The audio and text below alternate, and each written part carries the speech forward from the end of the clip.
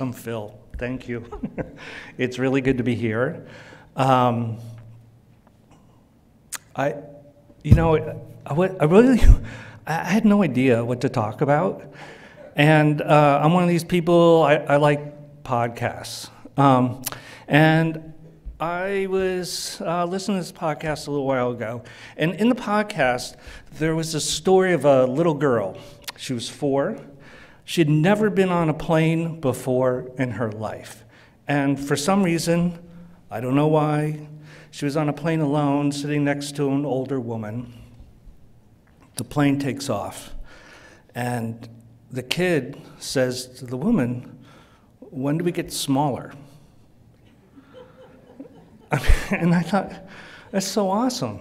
And it's cute. I mean, I mean, four-year-old kids are cute, and and the things kids say the darndest things. But the reason why it's so cool is because it's so true. Like the logic of that is perfect. Her perspective as a four year old is sitting on the ground watching a plane take off and it gets smaller. So if she's in the plane, of course she's going to get smaller. And so that podcast on This American Life, Ira Glass, um, I, really fundamentally changed how I think about what I'm doing and just focusing on this idea that it's really about perspective and in one's own perspective. And in my line of work, whether I was at the government or now at TNC, people always want to know in conservation what's success? So, how do you know when you're done? And what I want to do today is kind of take this idea of success and conservation and say, well, it depends. It depends on your perspective. And perspectives vary a lot among different people. And so I want to walk through this logic a little bit through a series of examples, just highlighting where I think perspective comes into play and try to demonstrate to you that really matters a lot. And this is not like we're four year old kids, uh, it's more than that. It's we're scientists. I mean, some of you are L and some of you are O. I mean, I don't even know what I am. And we're different. We're in different cultures. We're raised. Um, in different environments. So, culture, of course, we're embedded in the First Nations culture here, and it's an amazing culture, and I'll talk a little bit about it in a second. But L&O, ASLO, has its own culture, and it's different than different scientific societies that I belong to. And we're raised in these cultures, and these cultures have norms of behavior.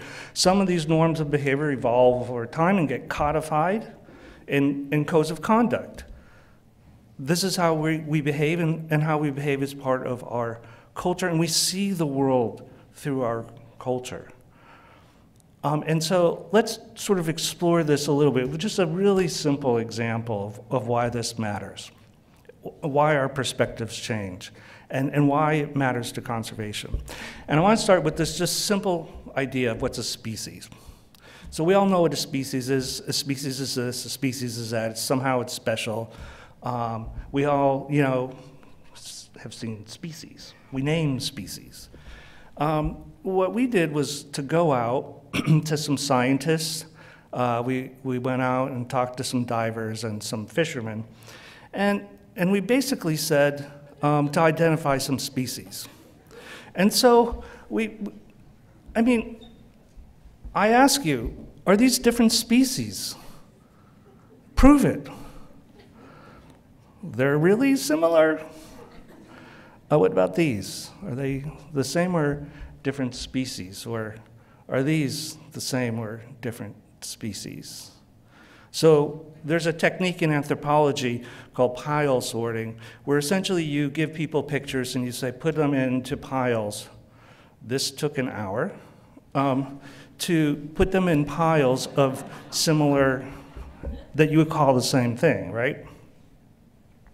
And so we did this for the Salish Sea area, again, with scientists, trained scientists. Trained scientists and divers and fishermen could tell the difference between whales and jellyfish 100% of the time. Uh, they knew what a seal was, uh, they can tell the difference between a brown fish and a red fish. And they knew that some fish were different to each other. Um, and they made piles. And then they sorted those piles into things with similar names. And then from that, we can make a taxonomy, a folk taxonomy, if you will. And what I want to point out here, um, and I'm going to come back to this, is that in this folk taxonomy, they basically grouped rockfishes, sebastes, into two groups the brown ones and the red ones. They were not distinguished. And if we look at this data in multivariate space, this is my favorite thing I'm going to say today, so pay attention. Um, remember, these were trained scientists and divers and fishermen. And so what we do is, is plot that cladogram in this, this multidimensional space. Uh, you see up there, I don't know, do I have a pointer thing? Oh, yeah. See? That's a scientific taxonomy. Uh, this is the commercial fishermen. So they all identified the species incorrectly, but very similar to each other. Uh, notice the scientists. None of them got it right. Did I mention these were trained fisheries biologists? So none of them got it right completely, uh, and none of them agreed with each other either. Um, and so, what is it? Who cares? Uh, I mean, it's kind of interesting, but it became interesting to me at NOAA when we were listing a couple of these species as endangered. And uh, we got a little pushback from the recreational fishing community, especially, when they said, you know, it seems to us that you're a moron. And the reason why is because when they look at the data, they don't see a decline. But what they were doing is actually meshing two species together. So they happen to be uh, this species here, which is called Bocaccio, which has declined dramatically. And the only reason we may or may not have listed that species, because we weren't sure if it was extinct. Turns out you're not allowed to list extinct species under ESA. Um, and there is something called the green stripe rockfish, which is increasing. So if you see these as the same species, if you experience them in, this, in the same species, and I list something, well, I, the agency lists something, the first thing you should say is, you're a moron, and they did. And it created this conflict, which wasn't necessarily based on belief, it was beliefs or values, right? We often think values govern our conflict and conservation. It was based on how we experience and perceive the world. So, how we perceive the world matters. And I want to take this and extend this to this area here, to an archipelago called Haida Gwaii. So, Haida Gwaii is um, a few hundred kilometers north and uh, west of here about 100 kilometers off, off the coast of northern BC. It's amazing. If you've never been there, what are you waiting for? It's truly remarkable. And in that area, um, I work on Pacific herring. I work on them because they're amazing species. They're central in the food web, so they just fuel the whole food web. They support an amazing and important fishery all up and down the BC and Southeast Alaska coast. Um, and what's really amazing, and I think why I'm attracted to them, is they come to shore to spawn. So they come to shore in these massive um, aggregations. They lay their eggs on vegetation, kelp, seagrass, and the like. Um, when that rips off, that fuels a whole separate subsidy to the terrestrial food web which is just amazing. Even wolves come and eat this stuff, which, I mean, come on, wolves. And my interest is really around um, how that herring roe on kelp ends up as a really important and probably second only to salmon, um, important cultural food item. And so it's sort of this crossover from commercial fishing, culture, and ecology that really attracts me to herring. Ooh, I don't know if this is going to work. There's a little movie here. Okay, let's skip the little movie because I don't know how to work it. Imagine a bunch of white dots going all over the place. Oh, look. You don't have to imagine. It's true. They really did. So these white dots uh, represent a time series of herring spawning grounds in Haida starting about 1945 and going uh, 47 and going forward to almost the present. And what you see as it goes through is the herring uh, spawning grounds sort of blink on and off. But in, on average, there are some places that always get spawn. These areas that are, are highlighted here, sort of in the hotter colors, are places that always get spawn. Um, those are actually the places where there's historically been Haida villages. And if you lived in one of those villages and you were an elder, um, you would make an observation that wherever you looked, there was herring spawning. But that changed. Um, here's another time series. This is a time series of herring biomass with the uh, average in the dotted line, and what you can see is a couple um, clear collapses. Um, one in 67, that was a result of overfishing for a reduction fishery for fish meal. And then you can see it recovered pretty rapidly. There was another decline again in the early 90s and a slow, very slow recovery. If you look at the individual spawning sites within Haida Gwaii, you see what classically looks, oops, sorry, how do you go back? Um, I'm really bad at this, I apologize. There. Um, you, uh, when you look across all sites, you see typical um, portfolio effect. So sites are out of phase with each other and smooths out the variance. So the total variance and the overall average um, is different than the, the overall um, variance at, at, a single site. And in this case, um, the zero line here is represents something around what we would consider um, the, the limit reference point for fisheries. So anything below that is overfished and above it is considered sustainable. And I want to um, zoom in on the end of this time series so you see over um, the decades of recovery, finally it, it, crossed that threshold to becoming sustainable. And so the government here in Canada decided, well, it's past this threshold, we should open it up.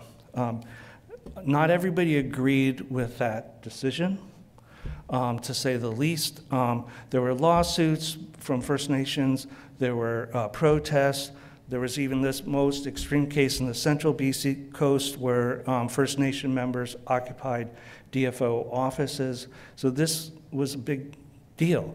Yet, according to the perspective of science, it was sustainable and recovered. So what's going on? Let's look more carefully at this time series. Now, instead of presenting um, what I just did, which was biomass, here let's look at the proportion of herring harvested. So in this case, about 25% would be considered sustainable. And if you look at this time series, you see most of the time they do okay. They're below, um, they're not overfishing. So a couple times they did, that led to some collapses, but mostly they're doing okay but that's on average. Now, let's look at the places where the fish were actually fished. So, where did the boats go, and how many fish did they take?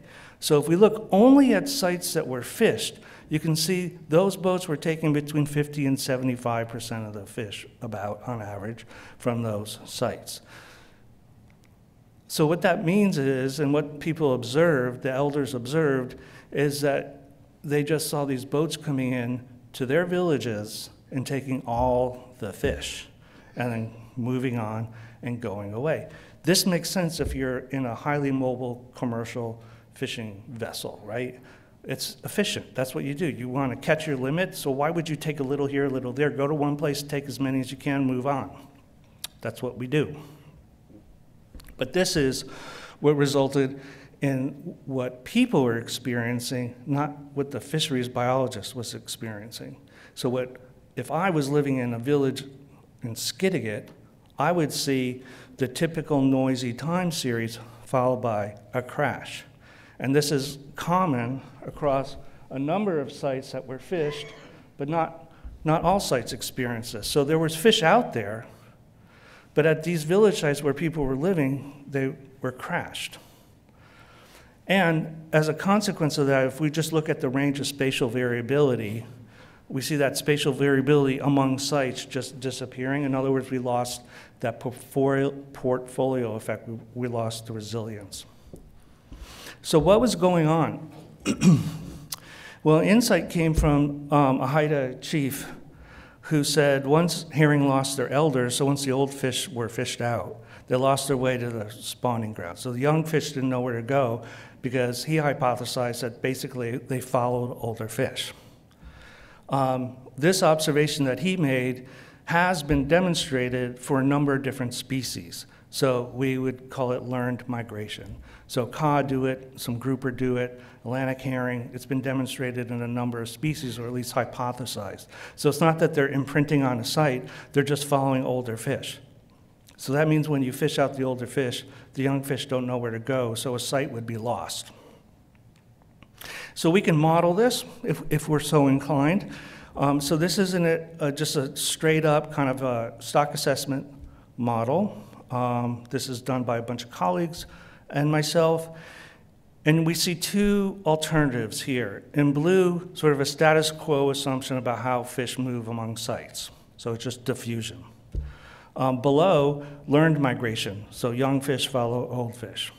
And what I plotted here is just catch versus fishing mortality. The peak is just MSY, so that's maximum sustainable yield. You can see this is what we would assume MSY is, something just below about 0.2 in this example.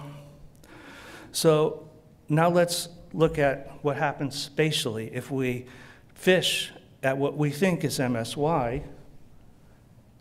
You see here this rapid loss of sites. So it's not that we're losing the biomass per se, we're losing sites. And in this case, it's the sites where, where the villages are set up because the village historically was set up around places where herring spawned. And we can look at this in a different kind of modeling um, context. So this is work done by Dan uh, Okamoto that's part of the Ocean Modeling Forum group that I'm happy to talk about another time. In this sense, what he did was say, okay, we're going to have this metapopulation model and we're going to impose different management strategies. And these are just two examples one where we have no closures, and one where we have essentially a closed fishing areas around village sites. And so what you see is not a whole lot of difference in yield or the, the amount of stock depletion, but there's a really strong trade off between the risk of collapse at village sites. So if we close a village site to fishing, it doesn't collapse as much. Um, but that comes at, at a, some expense in terms of the risk of collapse at other sites. So there's just a trade off about where fish collapse. Not really how much you can catch, because you're still fishing by the rules. And so what that means is just closing the village sites could, over the long run, make those sites more resilient and more culturally uh, uh, reliable. And that's important because to the Haida people, herring is everything.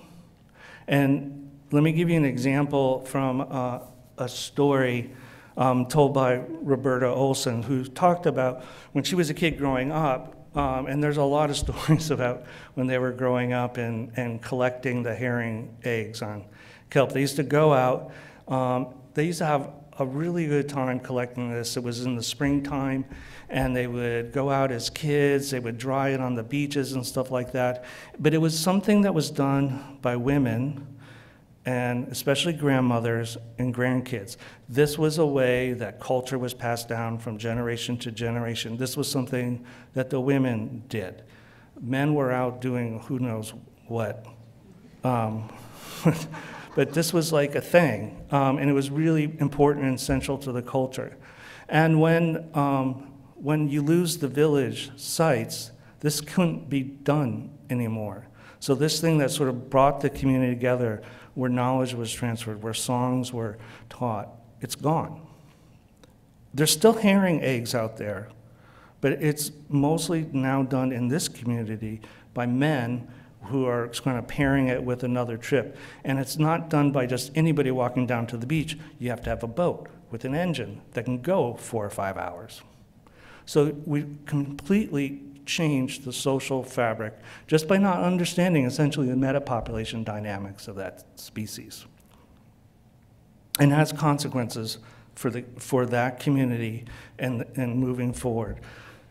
Um, and so um, Ray Hilborn has this paper, which, which is a good paper, you know, not to say it's a bad paper, um, but uh, he has this thing at the end of it, it's going to make sense. So, if a management system can provide food for this generation without reducing the ability of future generations to produce food, let's call this sustainable seafood. So, my question to Ray has been whose food? So, it's, it comes down not to just how much how many fish are out there, it's who gets the fish. Indigenous people, that's my son with that salmon. My son deserves that, okay? Um, or, or seals. So who gets it? That's, and if we think about it through that lens, it helps us define what success is. Our perceptions will vary, and that's where the politics comes in. That's where we leave the realm of ecological science, anyways let me switch quickly and tell you one more story about my house. That's my house. That's actually my house. So if you want to visit, it's not far from here. You take a boat. Please stop by a beer.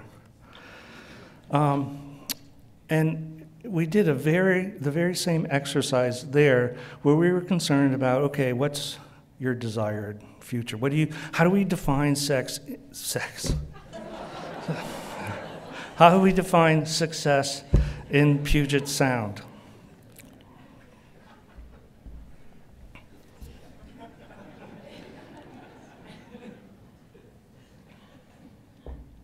My mouth is dry, that's all that was.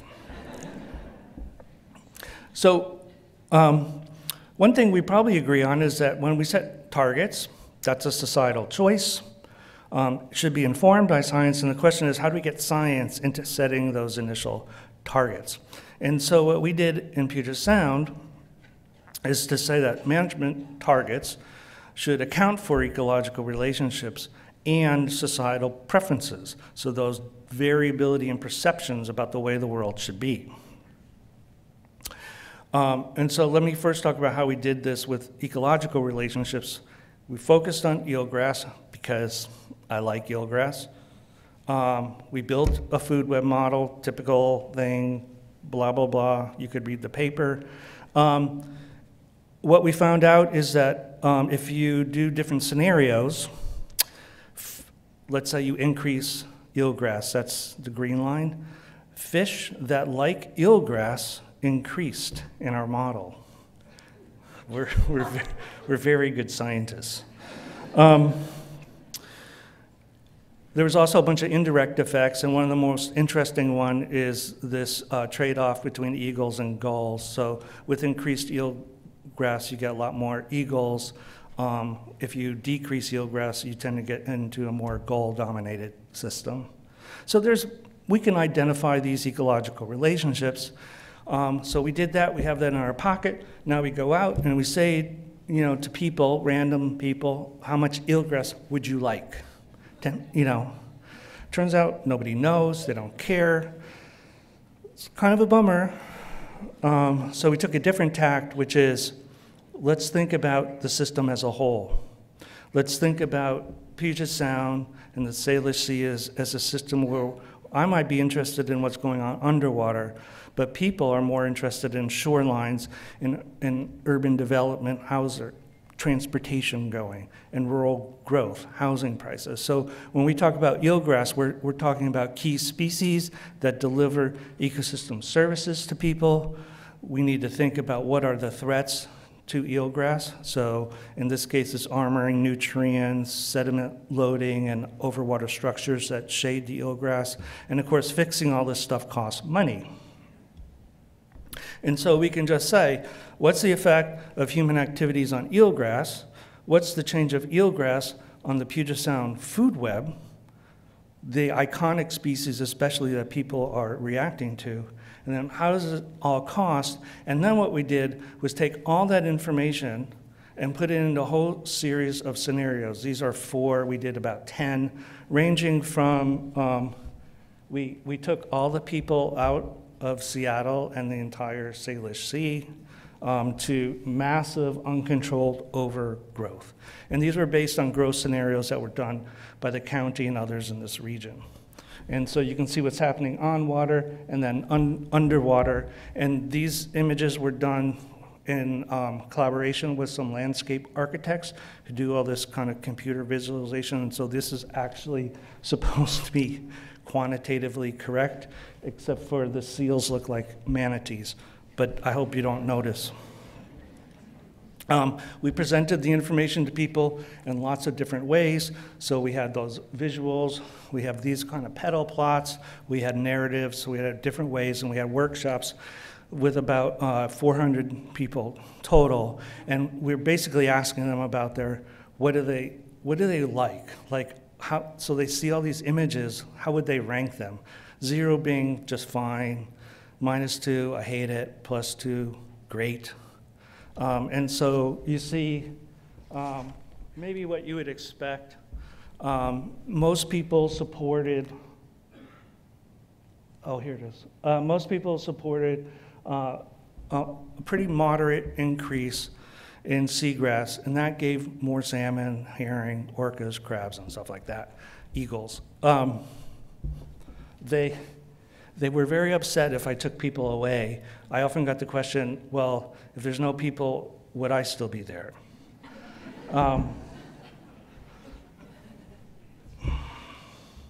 another interesting result is, of course, we asked about politics, because, uh, you know, we could. Uh, it turns out restoration is a bipartisan issue.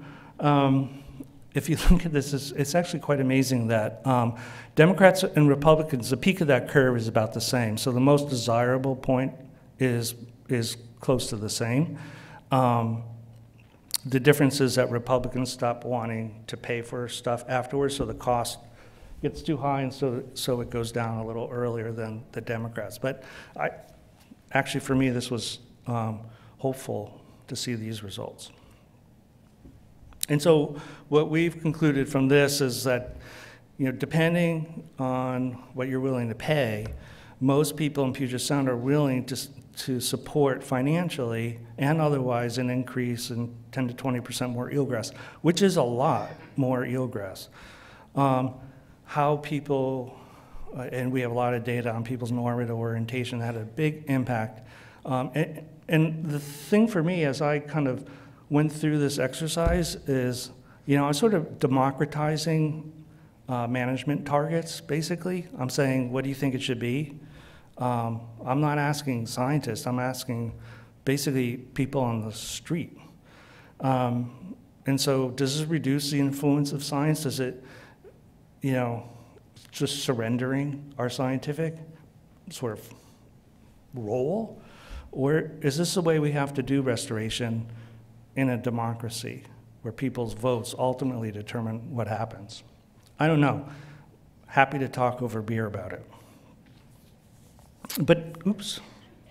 In the end, um,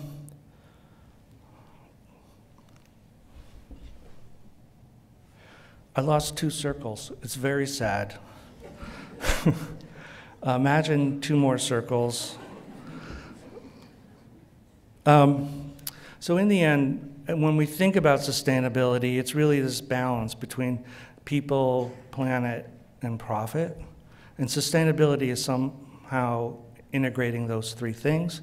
But how we do that varies depending on our perceptions of the world and what we value, and also just what we, you know, where we're at, how we're raised.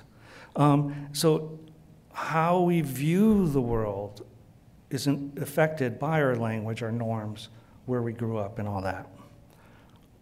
Um, and that leads me back to the little girl.